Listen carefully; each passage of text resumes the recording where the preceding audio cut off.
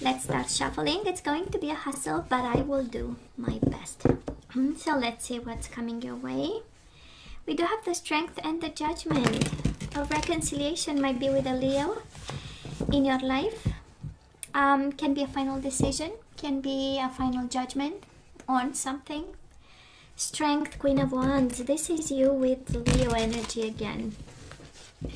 Okay, so might be a strong Leo, or maybe you have Leo in your chart, but there is a lot of fire and a lot of passion. The strength is about courage, inner strength and courage is about lust. And we do have the Hermit Virgo energy in reverse. If they've been silent, um, this is the energy of wanting to talk to you again, right?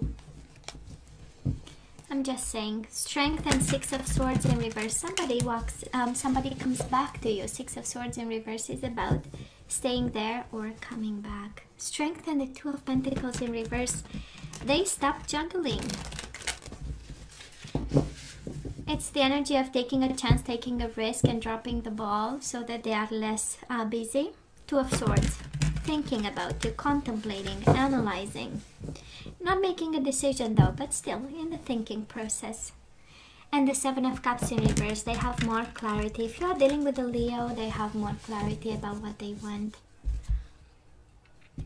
So let's see bottom of the deck for the overall energy for this time. And we have the world in reverse, unfinished business. Queen of Swords, um, Gemini, Libra, or Aquarius, Five of Swords, and the Justice, Libra energy Maybe Libra you are dealing with. It shows up twice here. Honestly, honestly, this so far, if you are going Aries through a situation where things were not clear, a chapter was not closed, there was not a proper closing of some sort, there was not a proper communication of some sort, you had no idea what's going on. We have two energies, both of them by excellence, speaking about clarity, speaking about um, clear communication, speaking about ideas doing what's right. Karma, you might be in a karmic connection with this person because it's a love reading. So you might be dealing with a karmic connection here, but this person comes clear. They want to come clear to you. You want to come clear to them. It's an energy of let me speak my mind, you know? And probably that's exactly what you're waiting for because we have this situation. We have you in things not clear and unfinished businesses because of it. So let's um, see Aries, past energies on your side, the person you are dealing with, and mutual energies. Let's have current energies on your side, the person you are dealing with, and mutual energies. And let's have the possible outcome for May on your side, the person you are dealing with. Oh, I love this. Um, we do have the, the Leo energy again. It's the sun, happiness, and clarity. It's all about the truth, awakening, awareness, illumination, aha moment, whatever you you want. But for the love of God, the, I, I adore the, the overall energy for you. Um, Aries because it's about truth and truth and truth no matter what. And it's uh, I wouldn't be scared because actually we it's paired with a justice that is a sense of fairness in the truth and balance. And it's meant to bring balance right? And it's meant to bring to bring fairness to a situation that might have been a little bit hidden.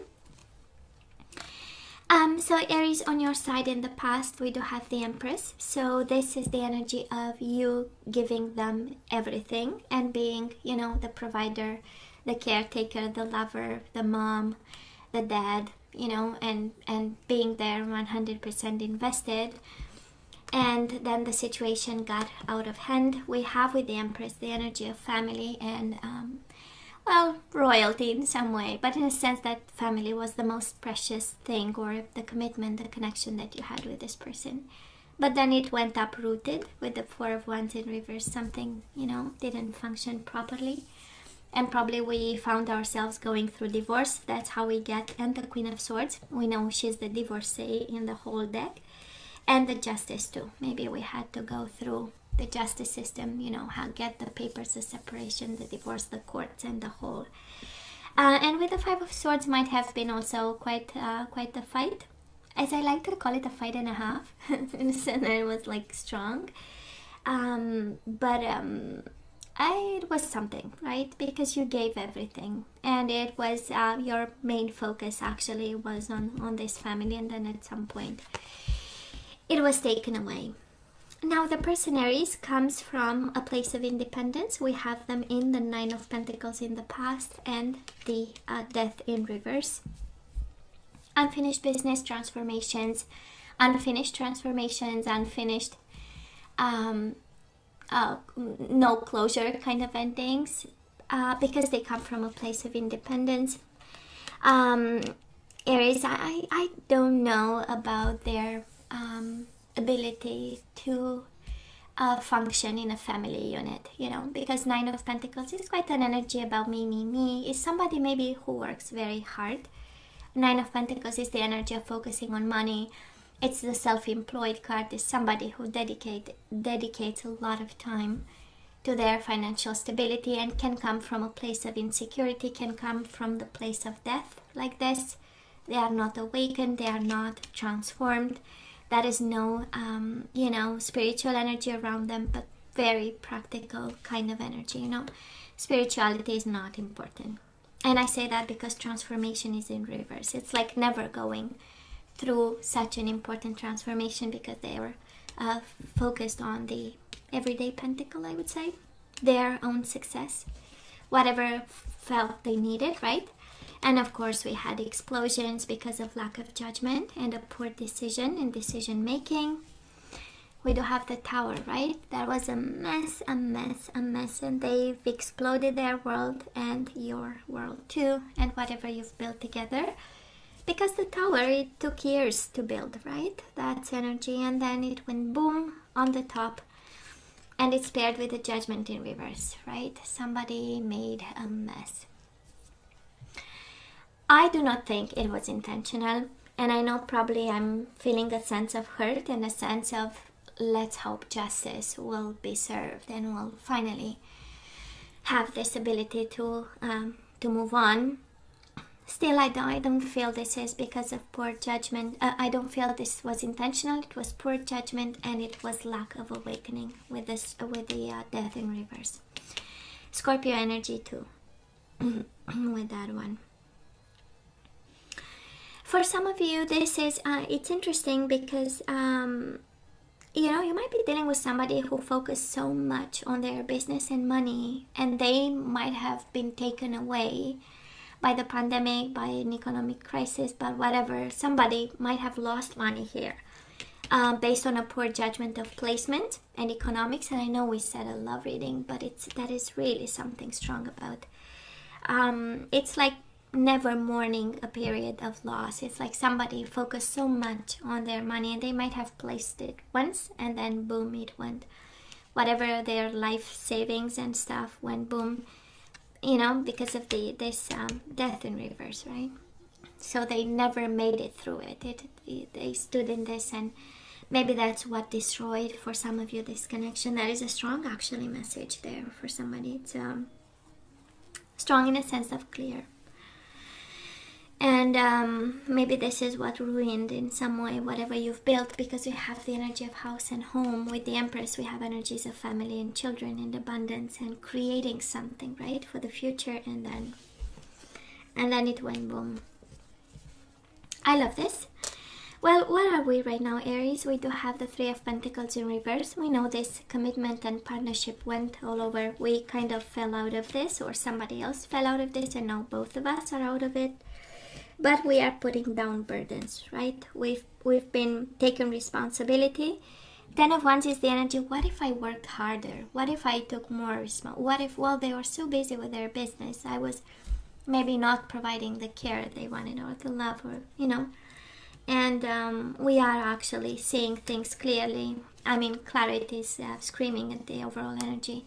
And because of it we gain perspective and we put the burdens down so good. I'm happy to see that, there is, You know, this is the energy of taking care of yourself with the Ten of Wands in reverse when we wake up and we feel all burdened and we don't feel like doing stuff and it's like, no, but it's me, me, me. Well, uh, take it, you know? That's, that's the energy I'm picking up here. You are in a good spot. You are in a good place. Now, this person of yours, we do have them in the Page of Cups in reverse, unapologetic, emotionally drained. Um, they are not present for an emotional um, uh, connection at this point and we have them with the two of pentacles in reverse. This is the energy of dropping the ball. This is the energy of losing control.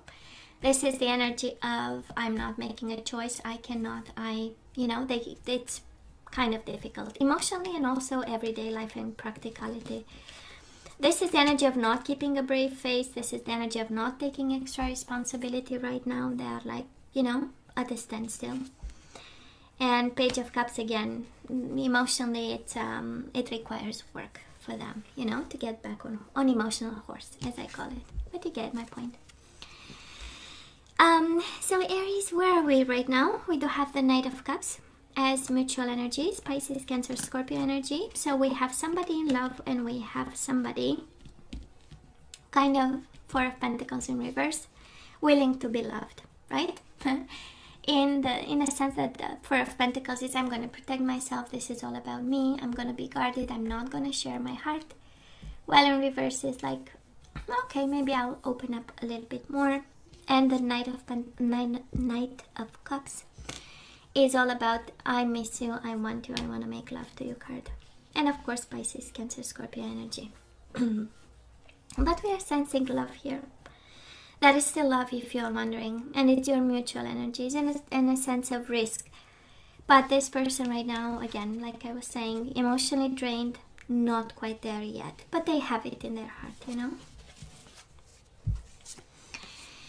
um, Aries, where are we moving forward? Well, being extremely cold about it, and I love this Aries because I do believe you'll take control, baby, over this. We have the Queen of Swords, King of Swords, and the five of pentacles we are cutting off rejection we are cutting off um, you know whatever keeps us away from what we love and what we want we become clear about whatever is going on and we become just like a king of swords well if i have to cut a couple of cords i'm going to do it right and if i have to bring justice to a situation i'm going to do it and if i have to fight for justice i'm going to do it also for some of you, it's a strong energy of Gemini, Libra, or Aquarius, and you have Queen of uh, Swords, King of Swords.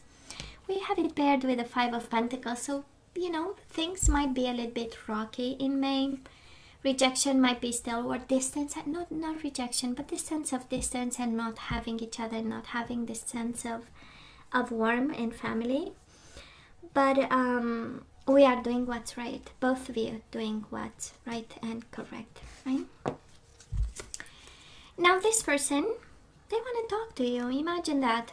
We have in the Four of Swords, they will break their silence. That's uh, the energy coming um, both your ways and you show up here, Queen of Wands. That is passionate about you. This is, I, I find you sexy, I find you beautiful, you know, that kind of energy.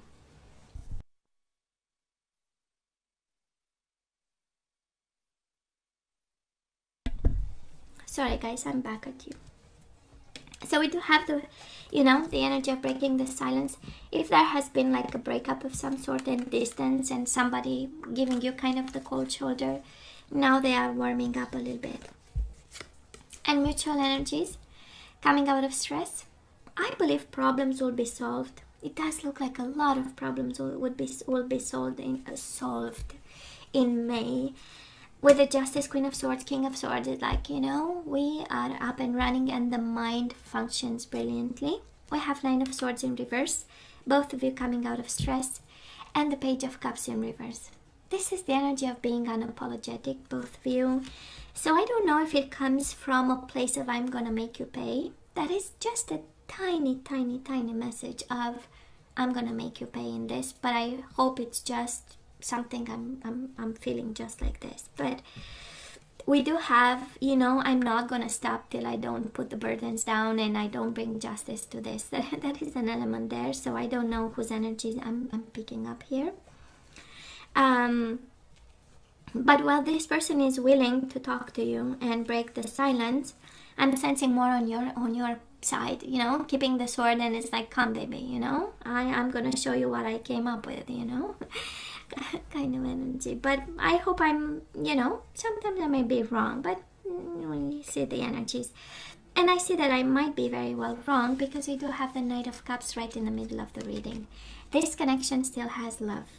We might be unapologetic. We might be willing to let things go and put the burdens down and make the other person pay. But at the core of it, right? At the core of the whole reading, that is love. And that is a, a desire to take second chances here with the Four of Pentacles. But again, it's going to be your um, your decision, right? And your better judgment. Um, so let's ask for some guidance. Let's see what we need. What what energies we need to get going, um, Aries, and then and then we say goodbye. So let's have this one. Let's see how we need to approach this. So we have responsibility, just like the Ten of Wands, it's right now on your hands, right? So it says you are aware of the power of your thoughts and the amount of love you express. So, speaking of, I'm gonna make you pay. I don't know if the universe is funny today and really wants to make sure that nobody is revengeful in this one. But I would say if your decision is, you know, uh, yeah, you brought the boom, so I'm gonna end the boom um, with swords and stuff. Somebody is really guided to be responsible in the way, in the way we express our thoughts and the amount of love we put in a situation that we want to end. Why not? You know, it um, again, like I like to say it from a place of love and understanding. So we do have patience Aries, somebody has to be responsible and patient. You are able to let the universal energy of transformation move according to its own loving rhythm. Okay, we need to be patient about and responsible about and come from um, look at this you have forgiveness we need to forgive them aries and I, i'm i'm sure they exploded pretty well your world in pieces but we have to get the energy flow moving again when we do it through forgiveness. Um, so you are now able to activate the power of love in order to release past hurts. Well, it's liberating. Forgive and forget, it's quite liberating. So you are now able to activate the power of love in order to release past hurts. And we have unity. You understand that the love shared with another is amplified and has a ripple effect across the universe. This is the law of attraction.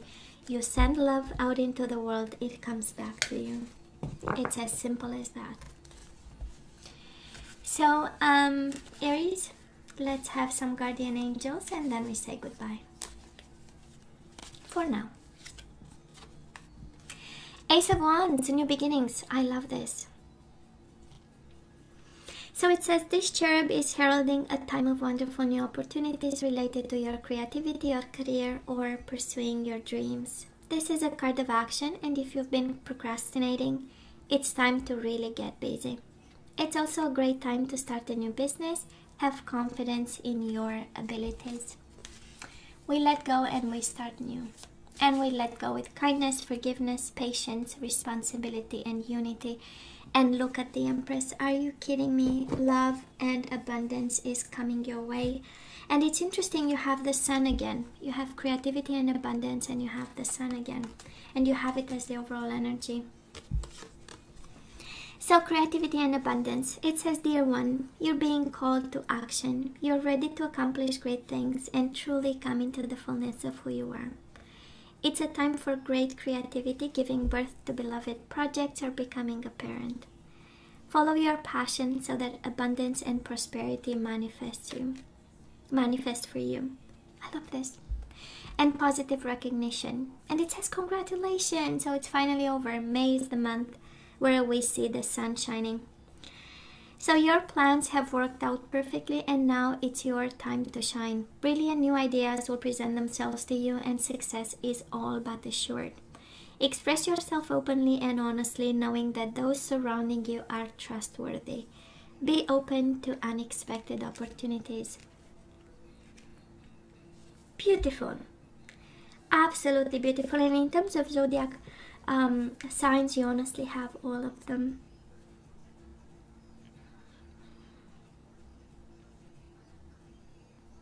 Yeah. Okay, so Aries, this is all that I have for you guys. You know I love you, right? I wish you nothing but the best. As always, please let me know what you think. Don't forget to like, share, and subscribe, and come see me next time. Love you. Take care.